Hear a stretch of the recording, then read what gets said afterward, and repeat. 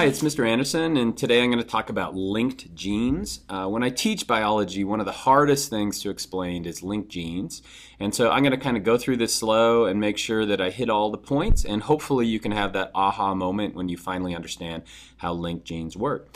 Most of this is through the work of Thomas Hunt Morgan. He bred fruit flies and kind of took the work of Mendel and then pushed it into modern day. And so this is when the early 1900s. And so the people, Thomas Hunt Morgan, the people who worked in his lab, discovered so many things that we now kind of take for granted. Uh, first of all, these are fruit flies. Fruit flies are really hard to see with an eye. You have to look at them under a dissecting microscope. But basically, you grow them in a medium like this. They'll lay eggs. You take the eggs out. They'll hatch into larvae, and then the next generation of flies shows up. And so this is what a fruit fly looks like when you could zoom into it. You can actually, if you were to look really closely, you'd see that there are two types of fruit flies here, and, and they're separated by gender. In other words, this one right here is going to be a male. It kind of has a rounded rear end, uh, and then it also has these things up here on its arms. Those are called sex combs. And the sex combs are a good way to tell the difference between the male. So this would be a male right here. And then you could tell right here, no sex combs, kind of a pointy end. So this is going to be a female right here. And so you could go through and figure out which ones are male and female. But that's not what we're interested in. What we're interested in is linked genes. And so in the fruit fly lab of uh, Morgan's fruit fly lab, basically whenever he found a mutation, then he would breed that mutation until he had a pure amount of that. And so you can see here that this is a fruit fly that's got two mutations. First of all, it's got a color that's black, and then it has these vestigial wings. And so everything else is going to be the same between these two fruit flies, except the color and then the uh, wings, vestigial wings. They can't fly, uh, because they have these little nubbins of a wing. And so basically he was doing work on fruit flies. And so the, the nomenclature for genetics on fruit flies is pretty simple, but it can be a little scary if you've never seen it before. So basically we take a trait, in this case this BLBL is going to stand for the black, uh, mutation. And then the VG, VG stands for the vestigial wing mutation. And so then you just take those letters and then you add a plus to it for the wild. And so this would be wild type for both of those genes. Okay, so let's say we were going to do a cross between these two. The way you would set it up, and again, if you're not sure on how to do this, make sure you watch the podcast on, on Punnett squares. But basically, this one can either give the vestigial or the vestigial, or, or excuse me, the wild or the wild, and this one can give the wild or the wild. So basically, in meiosis, it's only going to be able to produce this one gamete right here, uh, the female. The male over here, since it has two of the mutant genes, it's only going to be able to produce this gamete right here. And so if we were to do a cross between the two, this would be what we get. Um, so we're going to have a hybrid for these two traits. So it's going to be heterozygous, heterozygous. And so you might think to yourself, what, what's that fly going to look like? Well, if, this is, if these are recessive genes, uh, then we would expect it to look like a wild type. If these are dominant genes, we'd expect it to look like the mutant type. But if it's a combination of the two, we might have one that's black with normal wings. Or, so let's figure that out. So I'm going to go to the Fruit Fly Lab. So Fruit Fly Lab, this is at sciencecourseware.com, V-C-I-S-E. And so basically you can do any cross that you could imagine. So I'm going to order those fruit flies. So I'm going to order the flies. Again, the female was of the wild type, so I'm going to add that to the cart. And now I'm going to figure out the male. So the male, again, had a body color that's black, and then it had a wing size that was vestigial. So I built the male. I'm going to buy that, and I'm going to check out. And they already arrived in the mail. So I'm going to throw this cross in the incubator. Remember, it's going to hold on to those ones that I ordered, and I'll come back to that in just a second. So I'm going to throw it in the incubator. And so two weeks later, we're going to have that next generation. All right. So now I'm going to pull those out, and we're going to, let's try that again. I'm going to pull those out, and we're going to put it underneath the microscope so we can see what came from that. So throw that under the microscope, I'm going to sort it. Normally you apply like ether to the flies and then you can separate them with a paintbrush so you don't want to kill them. They're just asleep. because you're going to use them again. So what I got is two piles of flies. And so let me look at the female right here. So the female right here is wild for color and wild for wings. And so we know that those two mutations are recessive. Now what I'm going to do right now is add this and use it in a new mating. So I'm going to add that and we'll come back to that in just a second. Let's make sure the male, so the male's over here, those are all same thing, so they're going to be wild as well. And so it looks like those two different traits were recessive traits. So let's kind of go back to the keynote for a second. And so what did we get for a fruit fly? We got wild type of those two. Okay, so that made sense to Thomas Hunt Morgan. Uh, this was just Mendelian genetics. And so if he would have stopped there, he wouldn't have learned anything. And so what I'm going to do is take this, the daughter in this trait, and let's cross that with a homozygous mutant for both types. Okay, so now we have a hybrid over here, and then we it's essentially a daughter from that cross, and we're going to cross it with the dad in that first cross. I know that's gross, but that's basically what we're going to do. Okay, so what could we get for gametes? Well, this one, again, can only give the BL or the black mutation and then the vestigial wings.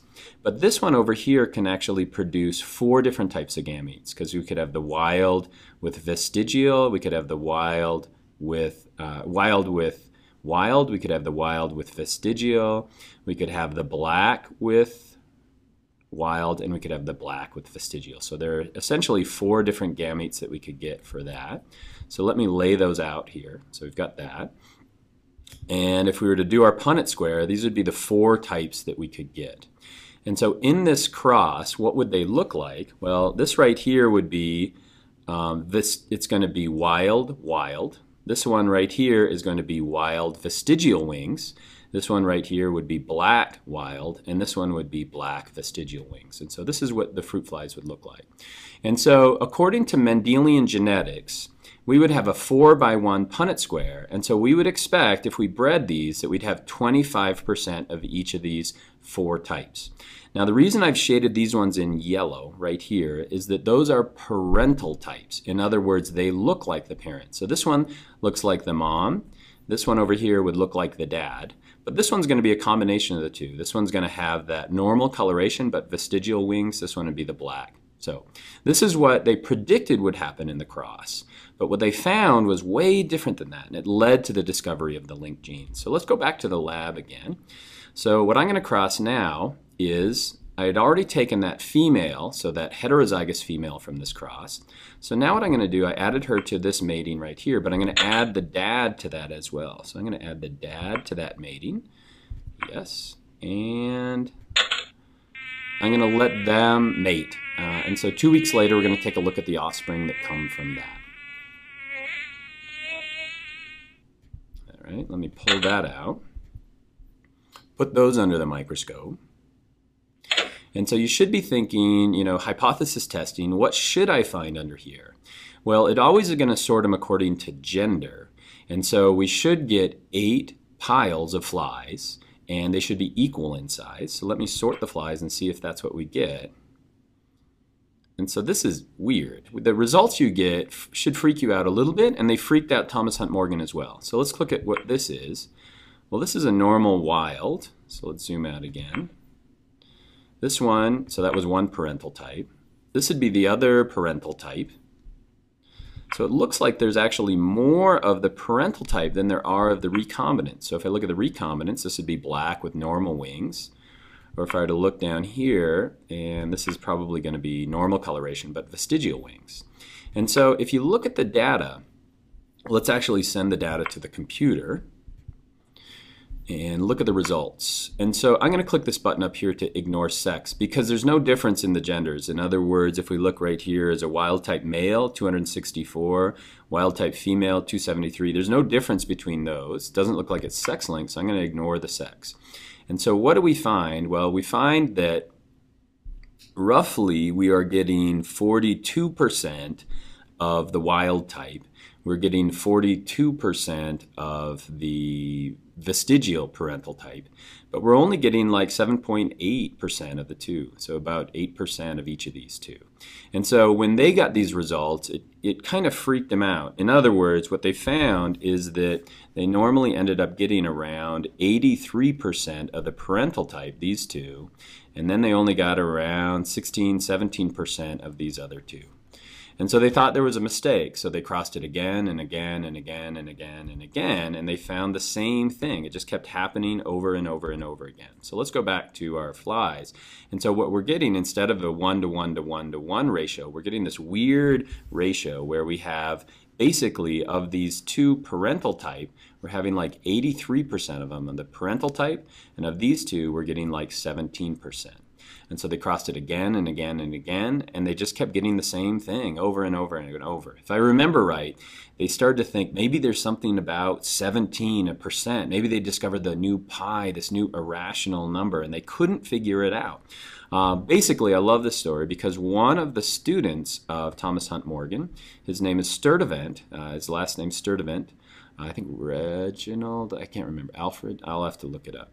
Uh, but basically, St Dr. Sturtevant, we'll call him, uh, was up one night. He was a student, so 19 years old, something like that.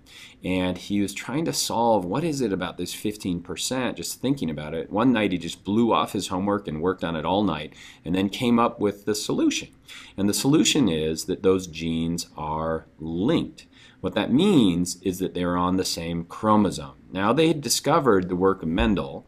They'd seen these things called chromosomes. They could see them under the microscope. But what Sturtevant and, and Morgan did is they brought together these two concepts, the concepts of Mendelian genetics and chromosomes, and you came up with chromosomal genetics.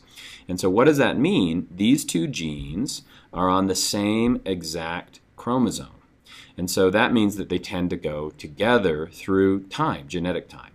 Example in humans, freckles and red hair are on the same chromosome, so they're going to tend to travel together.